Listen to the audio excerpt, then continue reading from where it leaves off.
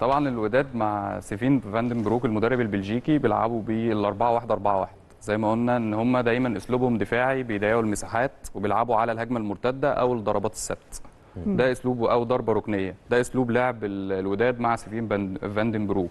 في حراسة المرمى يوسف المطيع اللي هو الحارس المغربي اللي هو المتألق ولسه حتى كنا بنتكلم مع كابتن محمد إن هو إيه إن هو كان قرر اعتزال في فترة من الفترات إن هو تعرض. لأزمة ورجع.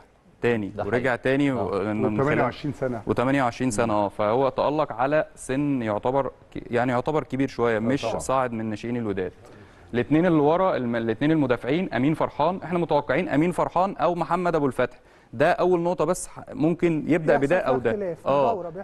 أمين فرحان ليه؟ لأن أمين فرحان أصلا كان الأساسي. هو هداف بيجيب بي- بيطلع في الضربات الثابتة مميز جدا في حتة الالتحامات. وفي محمد أبو الفتح ده البديل بتاعه. أرسن أو ممكن يبدأ بيه. يعني يا امين يا أمين فرحان يا محمد أبو الفتح. أنا اللي أتمنى يبدأ بأبو الفتح. آه، يعني عنده ثغرات كتير نقدر آه نستخدمها. هو هو عشان كده يعني غالبا أمين فرحان هو حتى في المباريات الأخيرة يا أحمد في المباريات الأخيرة سجل جونين في آخر ثلاث ماتشات. آه. فغالبا هو بيجهزه عشان يبدأ في النهائي. المغرب التطواني سجل. ومعنوياته مرتفعة. آه. نيجي لأرسن زولا. أرسن زولا ده مدافع كويس جدا في الالتحامات الهوائية وبيسجل أهداف براسه بشكل كويس جدا. مدافع كونغولي وعنده روح عالية جدا. ثابت عايز أقف معاك عند زولا معلش لأن هي نقطة مهمة جدا إن جمهورنا يبقى معانا فيها. زولا مسجل ثلاث أهداف في الدوري. منهم اثنين قدام الرجاء بتكملة هجومية بالقدم يعني حتى مش مش كرة عالية. آه. وهدف في المغرب التطواني أعتقد. فأنت بتتكلم في ثلاث أهداف وبيعمل زيادة عددية. أنت بتشوف مع لسه أسامة كمان بيتكلم في أمين فرحان فأنت بتشوف فكرة إن الاثنين دول بيتقدموا بالشكل ده في الكرات ال- الثابتة وبيكونوا مؤثرين جدا. شوف الأهلي يتعامل مع ده إزاي. هو ده ده شغل ضربات ركنية. إحنا معانا شغل حتى file كامل للضربات الركنية. ده عندهم شغل رهيب في الضربات الركنية تحديدا في الاثنين يعني ده هيكون معانا. آه آه في الضربات. الركنية حالات كاملة. فخليها يعني في الضربات الركنية. كامل أه التشكيل. أيوب العملود ده كظهير أيمن ويحيى عطية الله. الاثنين الباكين كويسين جدا. يعني الاثنين بصراحة مميزين. أيوب العملود ده style أحمد فتحي كده اللي هو بيكمل اللي عنده الروح مش مهاري قوي سجل هدف في صن داونز آه وسجل هدف ال- التعادل في قدام صن داونز يحيى عطية الله طبعا ظهير أيسر منتخب المغرب البديل لأشرف حكيمي. يحيى جبران هو اللي بيلعب قدام الأربعة ولو أخذ إنذار بكرة هيغيب عن مباراة الإياب. ومهم جدا الضغط عليه لأن هو مفتاح لعب ببناء الهجمة عند الفريق الوداد المغربي. وبرضه ممكن لو يعني نحاول إن إحنا زي ما بنقول كده بلغة الكوره نلبسه إنذار نستفزه بحيث إن إحنا إيه يعني يعني دي دي هتأثر على ادائه أنا شايف إنها هتأثر على ادائه عشان المباراة النهائية. حضرتك تحديدا يا كابتن عشان هنعقد مقارنة بين يحيى جبران ومروان عطية لأن الاثنين. حالتهم واحدة. صح. الاثنين بقى اللي اللي بيكملوا. أنا شايف عبد الله حيمود أصلا ما كانش هيبدأ. يعني غياب عبد الله حيمود مش مؤثر. ليه؟ لأن هو الأساسي بتاعه أيمن الحسوني ورضا الجعدي. أيمن الحسوني هو اللي بيكمل ورا صامبو هو اللي بيزيد في عملية الضغط. يعني في الحاله في الحالة الدفاعية بتبقى 4 4 2 بالزيادة بتاعت أيمن الحسوني جنب صامبو المهاجم. الاثنين اللي على الأطراف محمد اوناجم وسيف الدين بهره محمد اوناجم طبعا لعيب الزمالك السابق بس هو ح- مع الزمالك حاجة طبعاً مع ومع الوداد حاجة نفسه. خالص. آه. صحيح. سيف الدين بهره ده لعيب ليه كويس م- ليه جدا مش زهير المترجي؟ هو الاقرب سيف الدين بهره لأن هو اللي ماشي بشكل كويس هو مع- معتبرينه في المغرب اكتشاف. مم. اكتشاف عندهم سيف الدين بهره وهو كان بادئ بس في مباراة صن داونز اتصاب. أعتقد يا أسامة فهيرجع بكرة. وعنده زهير المترجي برضه. يعني ورقة بديلة مهمة. ورقة مهمة جدا. سواء هو أو سيف الدين يعني هو أو المترجي.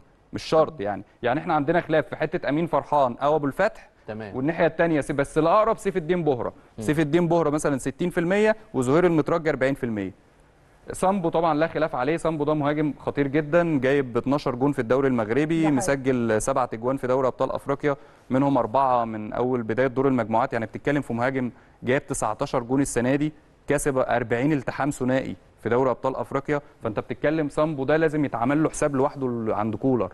هل الاثنين المساكين لو أنا بدأت مثلا بمنعم ومتولي يبقى منعم اللي هياخده لأن متولي في الالتحامات مش زي منعم. لو بدأت هل أبدأ الأفضل بياسر إبراهيم مثلا ومنعم عشان خاطر سامبو لأن ياسر مميز في حتة الالتحام وعنده الالتحامات تحديدا الالتحامات الهوائية والثنائية لأن هو كمان مميز بحتة الروح عشان خاطر خطورة سامبو هات بقى الصور. بص الشكل بتاعهم يعني إحنا ده ده هنوضح لك بالصور طريقة اللعب. أدي ال 4 1 4 1 قدام إيه؟ قدام سان داونز. ده فين؟ في ملعب محمد الخامس.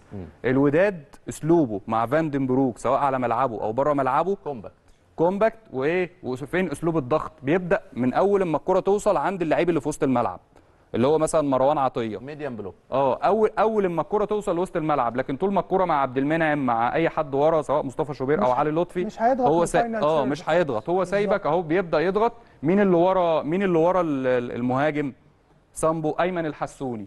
عشان كده قلت لك إن إيه؟ إن أيمن الحسوني هو الأقرب أصلا من عبد الله حيمود. ليه؟ لأن كمان أيمن الحسوني خبرة أكتر. أيمن الحسوني مسجل وهداف ثمان أهداف. 8 أهداف. يعني لسه كنا بنتكلم إن أقول لك حاجة أحمد. يعني في, في الفوارق ما بين جاريدو وما بين فاندن بروك هو ده حيمود. لأن كان عندهم مشكلة في في الثلاثه اللي بيلعبوا في وسط الملعب في التدرج بالكرة والخروج بالكرة. وتطوير الهجمة. آه. حيمود حللوا الأزمة دي.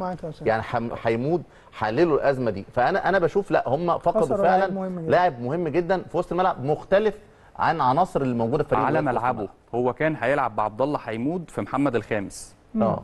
عبد الله عبد الله حيمود ده كان هيلعب في محمد الخامس عشان كورته حلوة بيقدر يتعامل مع الضغط بشكل هو لعيب كويس وبيتعامل مع الضغط بشكل كويس طبعا. أنا مش ب... يعني مش بقول إن هو لعيب. لا لعيب بس أيمن الحسوني خبراته أعلى. أيمن الحسوني في مستوى الضغط لعيب قوي.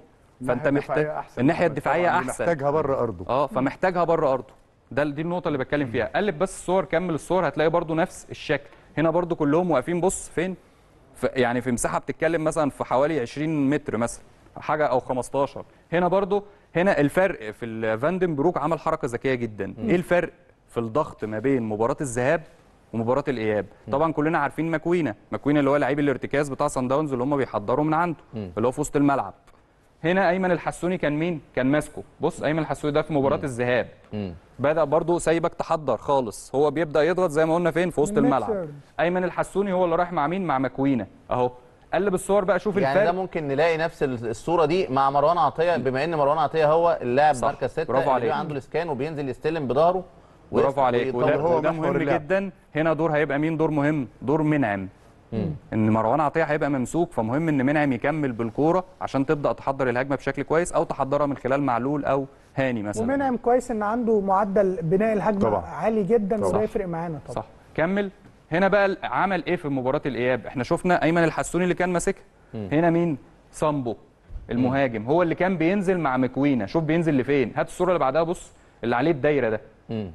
ده سامبو المهاجم. طبعا في الحالة ملحوظة الدفاعية ده بيأكد طبعاً. إن هو كمان عنده قدرات دفاعية قوية مم. المهاجم. بص فهو هنا بص الالتزام أصلا وبص التكتيك بص التقارب الخطوط بص الجناحين فين. فده ميزة الوداد مع فاندن بروك هي الالتزام الدفاعي التنظيم الدفاعي. والخطوط قريبة زي والخطوط متقاربة جدا. فأنت أنت مهم إن أنت تسجل جون بدري بشوفها مهمة جدا في أول نص ساعة عشان خاطر التنظيم ده هو مش حي يعني هو هم مش هيندفعوا. هيحافظ عليه آه 90 بس. حي على الأقل هيربكهم. طبعا. دي نقطة مهمة. كمل ال- الضربات الركنية مع دي نقطة الضربات الركنية يا فارس اللي كنت بتتكلم. فيها في هم أو هم عندهم طريقتين. أول طريقة اسمها زلاف ترين يعني إيه زلاف ترين اللي هو قطار الحب. بيسموها كده في في الشرح الضربات الركنية. أنت بتتكلم إن مثلا في أربع لعيبة بيقفوا حوالين إيه؟ منطقة الجزاء زي ما إحنا شايفينها كده. تمام؟ وفي واحد عند العارضة القريبة وواحد في النص. خلاص. ساوث جيت المنتخب الإنجليزي آه. عشان الناس بس تبقى معانا. هي- هو كان بيعملها. هات هات الصورة. هات بص أهي. نفس الشكل. هنا بيبقوا ثلاثة واقفين وواحد واقف اللي هو يحيى جبران ناحية الحارس. ليه واقف ناحية الحارس؟ عشان يمنع يعطل إن يعطل الحارس. إن هو يطلع. انتباه الحارس آه كمان وفي نفس الوقت الثلاثة واقفين كده بحيث إنه يبقى صعب إن هم يتمسكوا. صحيح. يعني كل واحد فيهم بس تحديدا آخر واحد اللي هو لابس حاجة زرقاء في راسه فوق مين ده؟ ده. أرسن زولا. زولا. كان مصاب في المباراة دي وكمل وهو مصاب. آه أرسن زولا. ليه أرسن زولا؟ لأن أرسن زولا أهم واحد فيهم في ضربات ده الراس. حقيقي. فأنت خطر خطورة الضربات الركنية والضربات الثابتة للوداد مهمة جدا. هنا الطريقة دي.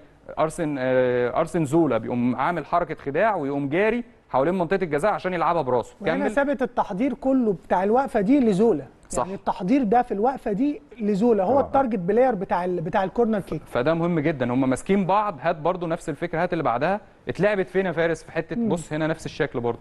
بص اتلعبت فين؟ في المساحة اللي هي ما بين خط الستة وما بين منطقة الجزاء. وفي كل مرة غالبا بيقدر آه. ينجح في الوصول للكورة. وده برضو شيء ده, خطير. ده أول شكل. الشكل الثاني اللي هم برضو بيعتمدوا عليه مميزين قوي في الضربات الركنية. الشكل الثاني اللي هي ضربه الضربة الركنية السريعة. اللي هي من خلال محمد أناج محمد أناجم تحديدا كمل. مم. بص هنا واقفين اتنين. بص محمد أناجم هيعمل إيه؟ هتتلعب له عشان يلعب بالضربه الركنية السريعة عشان يبقى جاي ناس من ورا. المدافعين اللي جايين من ورا يحطها براسهم. كمل.